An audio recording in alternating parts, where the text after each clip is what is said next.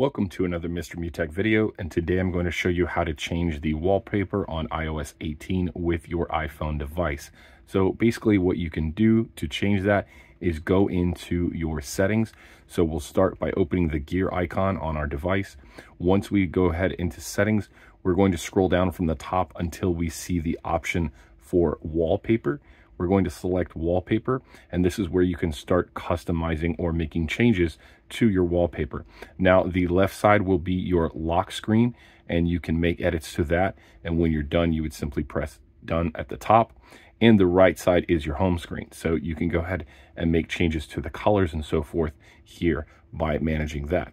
Now if you want to create an absolutely brand new uh, wallpaper, you can do so by just going ahead and scrolling to the left and then tapping on the plus and you can choose from a photo or you can go ahead and choose the additional wallpapers that are provided by Apple. So once you're done with that and you've selected what you want, I'll just go ahead and select select something at random, then you would just tap on add.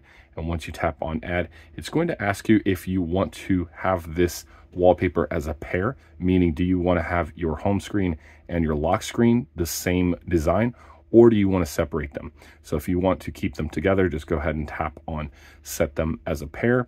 And then if you want to customize them, you can go ahead and tap here and change the wallpaper design of your home screen.